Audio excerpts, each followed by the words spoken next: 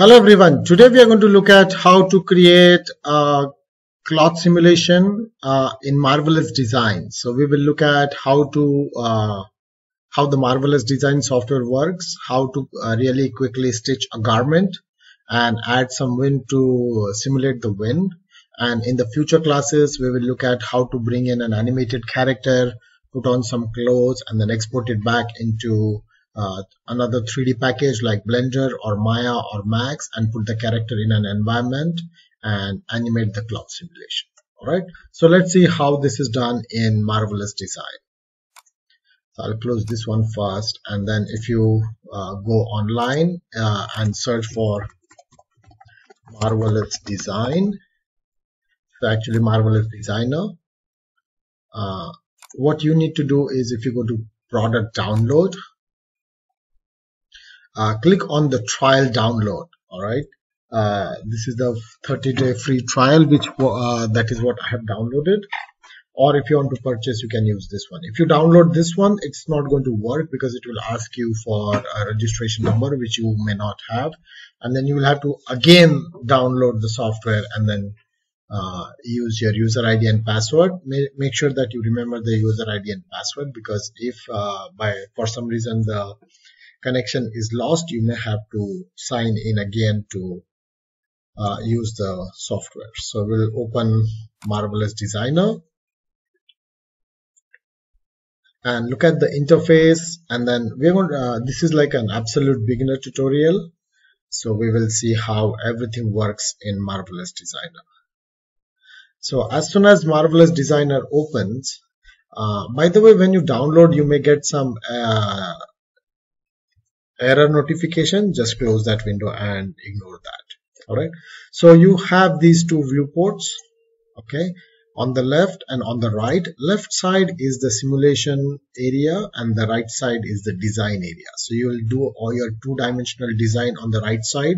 So this is where you will create your fabric uh, and then in the 3d simulation you can look at what you have created and place it on the avatar okay so first things first we need to bring in an avatar. So if i if you go to file open avatar and there is hana which is a default stylized character that may appear actually with a cloth. So you can just close that and open a new program. So you just have to uh, know new project. So just say file new. Okay and then go to file open avatar.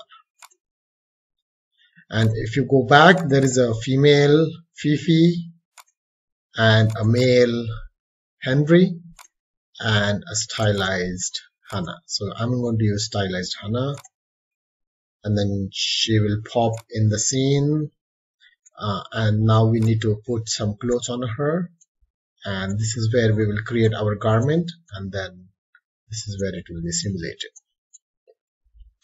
So real quickly we are going to go over uh, the basic tools required so again, uh, I have set this up initially uh, using the 3ds Max uh, options. So whatever the uh, options in 3ds Max are, they will work here. So right click and drag around. Middle mouse is pan, middle mouse zoom. Okay. and here I'm going to click on the polygon tool and I'm going to create the front part of the garment right? So I have like a v-neck and then a sleeveless strap here. And this is the arm opening here.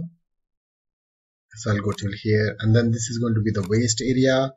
And then here I'm going to have some short and long skirt here. Okay so one two three. So I will have to go one two three here also and then if you go here you will get the purple line in the middle. So you can align your uh, horizontal marker here. And then again you'll go and align this one here and then align these two and then finish it off at the beginning. Okay. So you can see that this is the garment that you created. If you click here you can then select and move it around and again here uh, you can see that I have a gizmo. And in your case the gizmo would be moving when I move the when you move around the scene. So if you go to preferences gizmo and I have put it on the world coordinates. So if it is on the screen coordinates it moves as you move the screen. But I prefer it to be on the world coordinates. All right uh, so once that the front side is done uh, I need to make sure that there's enough space on top otherwise it will go through. So what you can do is you can click on this option and then you can select these and I can use the up arrow key on the keyboard and move it up. You can see that this is 29 this is 20 um, this this doesn't have to be very precise uh, it can be plus minus uh, and in real life also the tailors they're going to cut these pieces and they're not going to accurate. So a little bit of mismatch is actually good. All right having said that uh, what we need to create is other side. So you can either control c control v to create a copy or you can right click and you can say symmetric pattern and place it on the side. Okay and then another pattern will be created uh, you can right click and say flip horizontally so it will be flipped. And then we can move it on top here and then we can simply move it back okay? And these have to be placed close to the body. Make sure it doesn't go through the body but it's close enough. All right so i think that looks pretty good for both of these and now we need to stitch these all right so these are the two stitching tools. Uh, the first one will stitch uh, one segment at a time. Okay and then you can either stitch it here so you can see that this and this can be stitched. So let us focus on these two. And then you can click here and then click here. And then you should get straight lines. You should not get cross lines okay? If it is cross lines you can undo it and try to do it again. So if you click here and then click here see I got the cross seams. So I will undo it and then you can see that it is this side and on the right opposite side. So again you can click on this side and on the opposite side here and then you get straight lines. Let us try this other tool here. And I can click here and then just go through and I want to stitch these two at the same time. So I'll click and I will stitch it here. Uh, let's see. Okay. So this looks good. There's no issue in the stitching there no crisscrossing so I can do the same thing here. So click. Here and then from here to here. Okay and that's about it uh, if you hit the simulation button here or the space bar the dress will fall in place. Okay. Now if you want to make any changes uh, you can now simply uh, click and drag this dress around. Okay. If you want to try and fit the dress.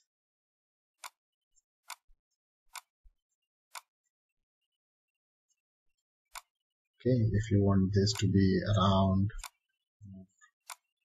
up alright so that can be done.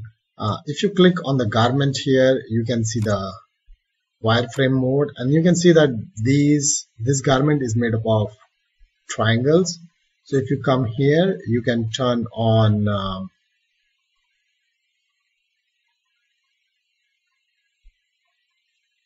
maybe I need to turn the simulation off then select the garment and turn remesh on and now you get quads. Okay so we need quads.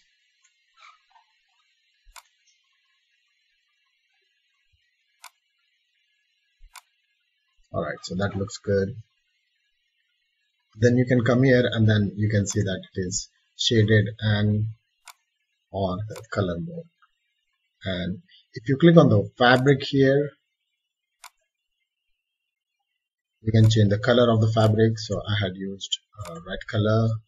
And then the fabric type can be changed because I'm using the trial version. I have limited options but I use the velvet option here. Okay. So now if you hit the spacebar to simulate uh, we can make a few changes here to the fabric. If you click on it uh, the particle distance which is 20 by default if it is smaller in number you will have more particles and the simulation will look better but it will be heavier on your system. So you have to be careful with that. Uh, you can just uh, uh, simulate it at a lower number higher number I mean. Uh, and then later on you can before exporting you can work with a higher number. So let us see if you have okay.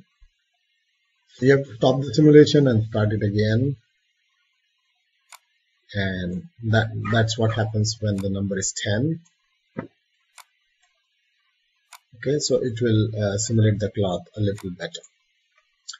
Uh, if you want the skirt uh, if you want more material for your fabric or less material you can shrink it say for example 70 and it will become short. And then if you want it uh, shrinkage on the side. Yeah if you want it bigger. Okay so more cloth. That seems like too short so that looks good.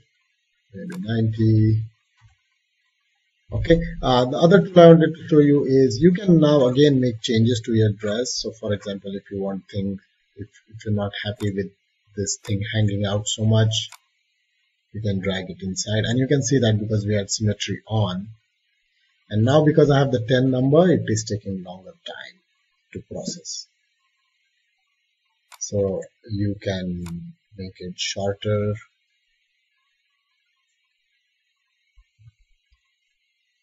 Then simulate it again. I'm going to make it 20 just so things move faster okay. And then uh, if you click here and then go into edit curve you can add curves to here. So if you want more garment by adding curve okay you just have to re-simulate it. Okay you can add more fabric by making this round and then simulate it. Okay so you get a different look uh, to the garment. Alright so this is up to you to how you want to design it. Uh, the other thing is uh,